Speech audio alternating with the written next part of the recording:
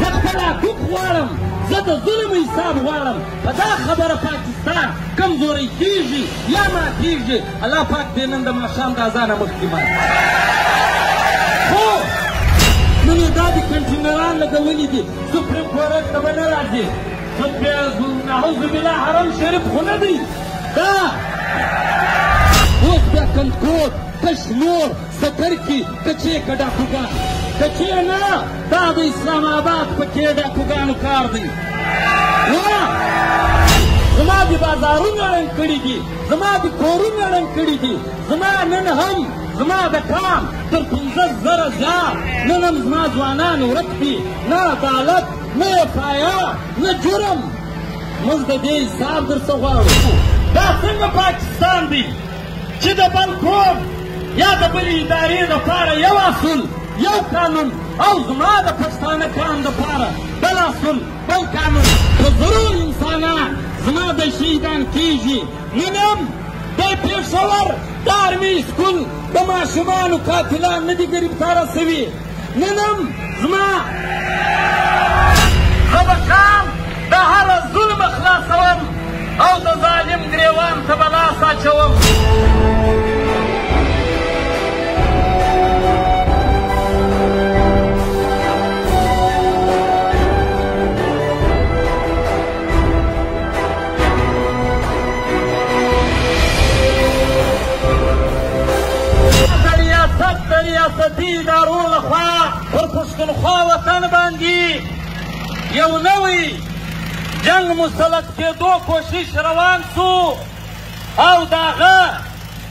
څه آثار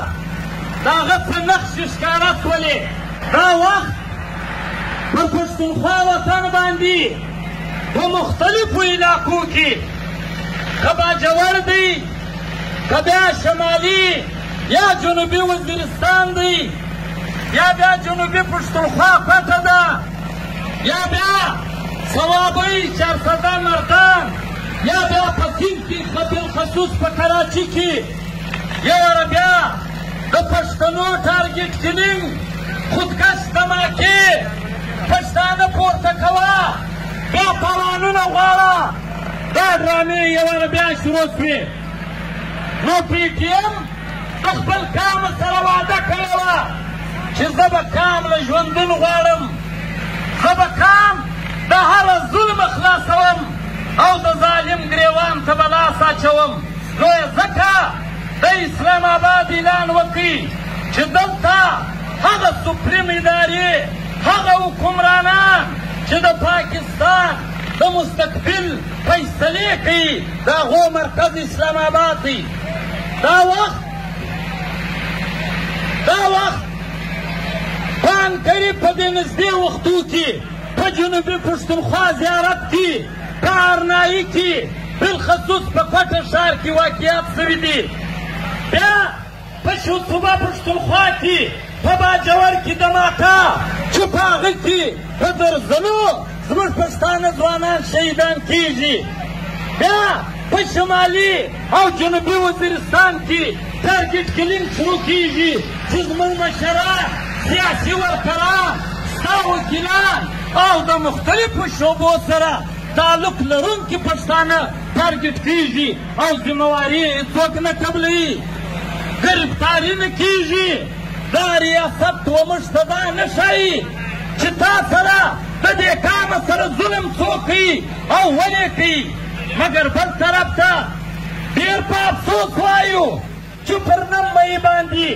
پر نم مئی باندې د عمران خان یا د پی ټی آی او د دې ادارو یو کلیش راځي بیا خلک په دې پنجاب کې په جی ایچ کیو په دې پنډۍ کې په جی ایچ کیو ننوځي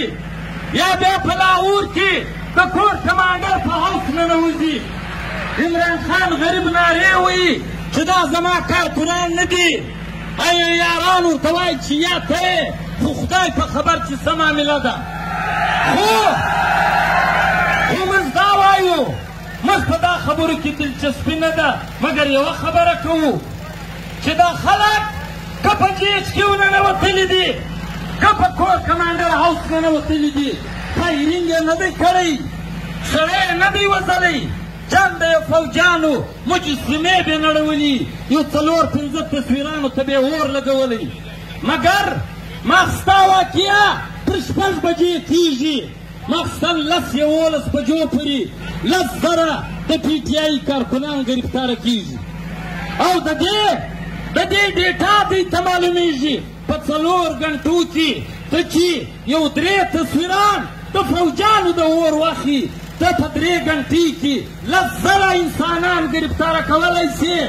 ډیټا رایستلی سی مګر بل طرف ته بل طرف ته دیر سکاله مسلسل زما پر پښتونخوا وطن یو ناسور یو ترهګری یو دهشتګردي مسلط ده په زرو انسانان زما د شهیدان کیږي نن هم د پېښور د آرمي سکول د ماشومانو قاتلان نه دي ګرفتاره سوي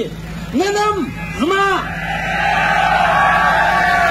نن هم زما د خل کمر د شهیدانو قاتلان نه دي ګرفتاره سوي نن هم زما د سردار عارف وزیر زما د ارمان لوڼي زما د شهید عثمان خان کاکړ زما په کراچي کې چې څه پښتانه ټارګټ شوي دي زما پر پښتونخوا وطن چې کم سیاسي مشران کم سیاسي ورکران زما وکیلان په کوټه کې سل وکیلان په یوه دماکه کې شهیدان کیږي د هغو قاتلان نه ګرفتاره کیږي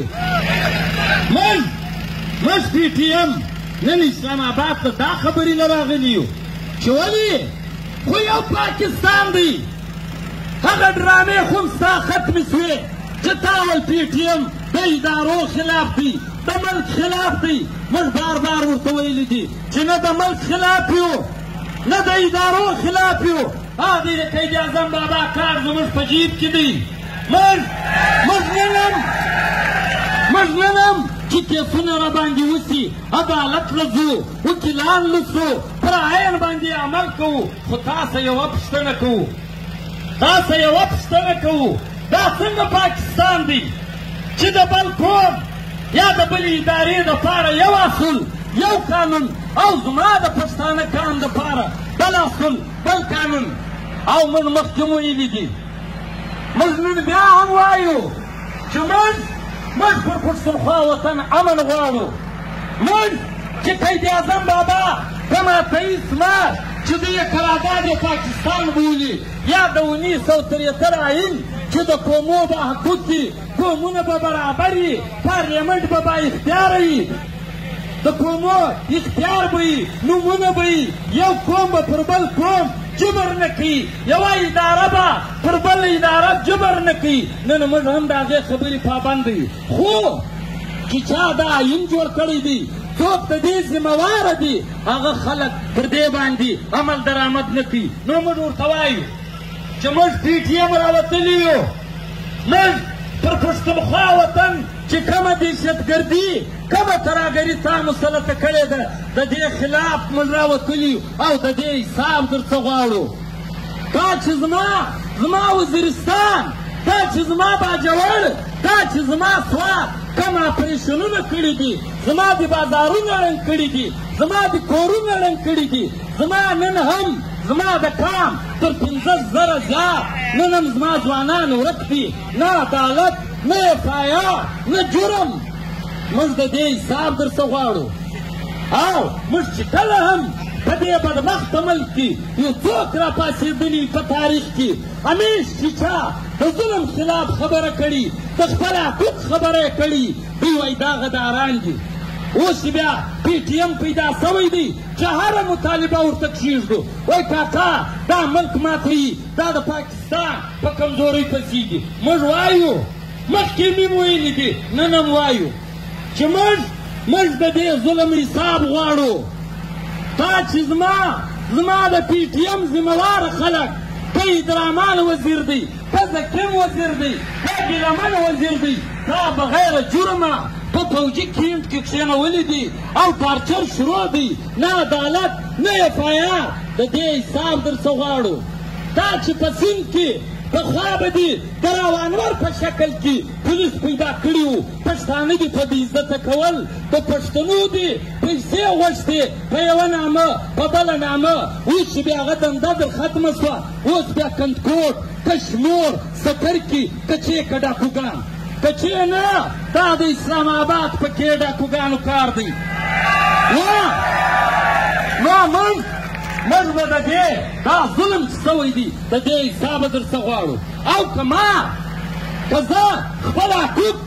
زه خپل حقوق غواړم زه د ظلم حساب غواړم په دا خبره پاکستان کمزوری کیږي یا ماتیږي الله پاک دې نن د ماښام د اذانه مخکې مات